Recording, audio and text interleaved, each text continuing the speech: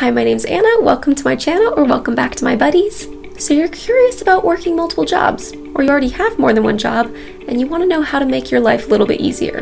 This video is not just about how to work multiple jobs, but how to thrive in the process. Run the clip.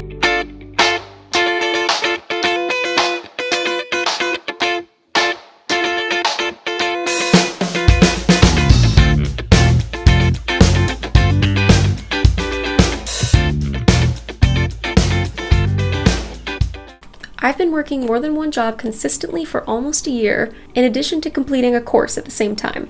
Throughout this video, I will be asking you questions that will hopefully lead you on the path of self discovery. First, figure out why you want to work more than one job. What is your end goal? Is this only going to be temporary? And if so, what's your target? What is important to you? What drives you? Because if you find something that gives you energy, you will be able to do more than you ever imagined. There's the financial side of having multiple jobs, but this video is also relevant for someone working one job and studying part time, or doing a training course to improve your current work while being full time employed. It is about taking your free time and using it to do something else to better your life. There are just times when you have to hustle and put in more work. I've made a plan for the next 24 months which will require an extreme level of hustle, but will be totally worth it in the end have a hustle timeline in place so that you know how long you need to work at this level. Hustle timeline! Nice.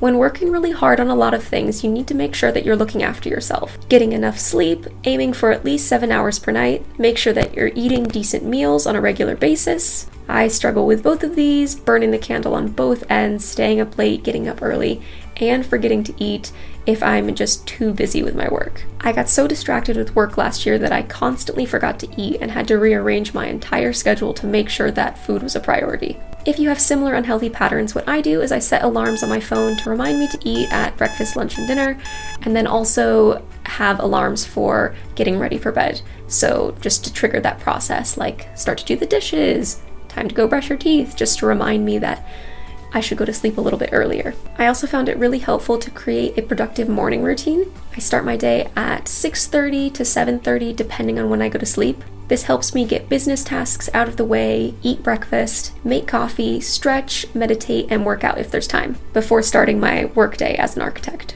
I have to be fairly flexible during the week because my full time job as an architect is my main priority. I have a morning schedule that I keep to, but as for an evening schedule during the week, I have to be a lot more flexible if I need to work late on a project or make last minute changes for a client before a deadline. Think of your day like a traffic light. There will be times the day that you know for sure you're going to be busy. So if you have a main job, the working hours from, let's say, 9 to 5 would be in the red zone.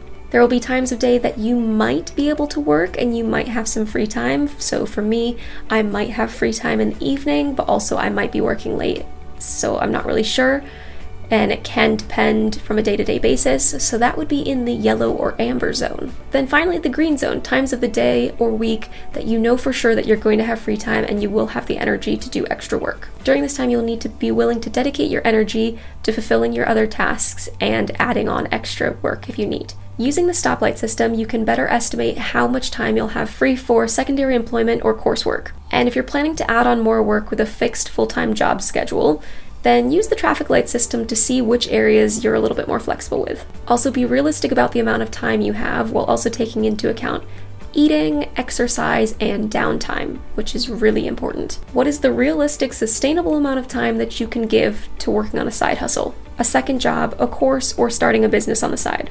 Besides extra work, there will also be times that you just need to absorb knowledge and learn, read, and explore. For me, I call this time period a data download and could last anywhere between one day and a couple months. During this time, I'll be researching, reading, and absorbing as much as I can while I start to form a strategy in my head. Preparing knowledge on a topic before you take any action can be really helpful to build your confidence and be better equipped for the roles ahead of you. For example, what I've done with YouTube, from the time I decided to start my channel to the day I released my first video, it was two months. During those two months, I spent between two and eight hours a day preparing, researching, planning, and strategizing my content for the next two years as well as other plans that will eventually branch off of my YouTube channel and advance my career in the long term. A bit excessive, I know. I just really like to strategize and plan for the most successful outcome with the most efficient schedule. And it can be scary to start anything new. The first day of any job can be very intimidating. There'll be tough parts to any job, and there'll be good parts to most jobs it's not all going to be sunshine and daisies working long days using multiple areas of your brain, which can be very draining, so make sure you look after yourself and try and avoid burnout. Know the signs. If your body's starting to tell you that something's wrong, listen to it and take a step back. Be kind to yourself. You're not working this hard to make yourself sick, so take care. The pandemic was the perfect time to do all this because we couldn't spend time with family or friends, and some of us were in total isolation. This meant less distractions and a lot more time to get down to business. Starting these habits in 2020 was a great thing for me and will translate much easier into the post pandemic life, having built a solid system first. Try and take obstacles as they come and maintain balance with whatever your current situation is. You really never know what's going to happen next, but if you believe in yourself and problem solve along the way, you can jump any hurdle. I've prepared strategies for different circumstances and have contingency plans so I can be as pliable as possible with whatever's thrown at me. If you can maintain some level of flexibility, it's a much more healthy way to live your life and a lot more sustainable in the long term. Working hard is great, but don't miss out on special events and moments with others. There is no point working hard for a distant dream and letting life pass you by in the process.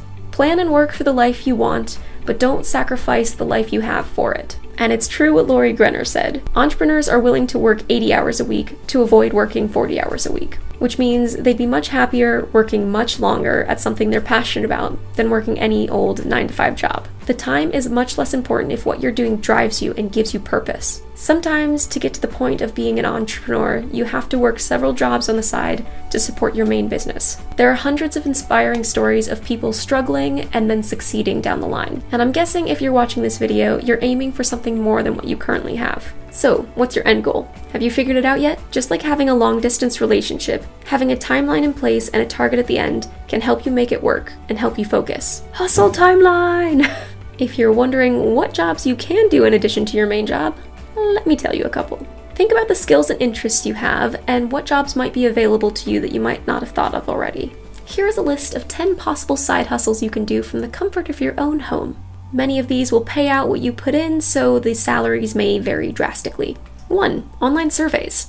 2. Online reviews. 3. Live streaming. I have personal experience with this and can make an entire separate video about it if you like. 4. Selling your skills as a freelancer on Fiverr or other similar platforms. 5. Creating an e commerce business. 6. Teach a language with online tutoring. 7. Start a blog. 8. Become a virtual assistant. 9. If you have a spare room, you can host on Airbnb. And 10. You can become a proofreader for websites, blogs, and businesses.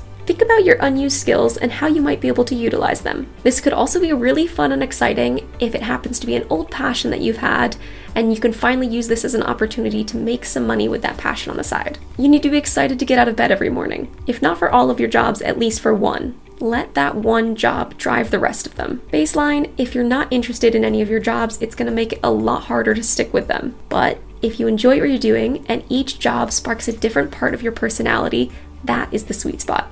It will make it so easy to bounce back and forth between different work because you're actually enjoying yourself. For me, I've really enjoyed almost all of the jobs that I've done, but I really had to focus on time management and organization to be as efficient with my time as possible. Taking away that stress helps me maintain a high level of enthusiasm on a regular basis. You're building a better future for yourself, and sometimes you have your head down so much just getting the work done, you need to look up and remind yourself just how amazing you are and how well you're doing. You will thank yourself in the future for your hard work and persistence. Working more than one job, or working one job and a course, or whatever your situation, is not something that you can easily do from the very beginning. It's like working a muscle and lifting weights, gaining strength over time. You can't just start lifting 100 pounds, you need to build up to that. Or at least I can't. Same thing with working multiple jobs or working long hours. You add a little bit at a time until you get stronger. It will get easier as long as you have balance and don't burn out. Also, take into consideration the location of your jobs. I've had a much easier time because all of my jobs have been located at home. Also, a convenience of the pandemic. I used to work in an office in London, and after working at home for almost a year, it's made it a lot easier to balance having more than one job. Whereas if your jobs are in different locations, you'll need to take into consideration the travel times and potential delays along the way. Work hard, adapt to situations, and maintain flexibility. Also, depending on your main employment contract, it is your legal and ethical responsibility to notify your practice of any secondary income you might be taking on. You will likely need to make sure that there's no conflict of interest and submit any potential issues to your employer. For example, if you're starting a business very similar to your current work, it might be construed as a conflict of interest. And if you poach clients from your employed work, it definitely is. So beware. For me, working as a full time architect, I notified my practice of my live streaming, modeling, voice acting, YouTube, and future e commerce work that will be coming this year. I wanted to be as transparent and open with them as possible to create a relationship of mutual respect. I balance working hard on my day job and then being productive in my free time with my other ambitions. I chose jobs that would be able to fit into my schedule and be completed at my own convenience, which helped me balance between two and five jobs in any given week. Figure out what currency you have at your disposal whether it's your time, your skill, or your money. There are only so many hours in the day and the week, and if you have a limited amount of time, you may be able to outsource some of your work so that you can focus on the bigger picture. I hired an amazing video editor, and we worked together as a team to produce three high quality videos per week. Without him, this whole operation you see wouldn't be possible. For me, this is an investment, and I will likely not see any financial return on my investment for months, if not years. But I believe in what I'm doing, and I think it will help a lot of people, so I'm happy to make that initial investment to make sure that the videos are high quality for all of you. If you're interested in where I hired my video editor from and what imagery software we use, it's linked in the description below. And if you haven't already watched my video about how to get organized in 2021, check it out here. There will be so much joy and freedom in your future when you work hard and accomplish your goals. Be responsible, be proactive, and be ready for the challenges you'll face ahead. If you enjoyed this video, make sure you like and subscribe for more content. Be kind to each other, be kind to yourself, and have a great day. See you on the flip side.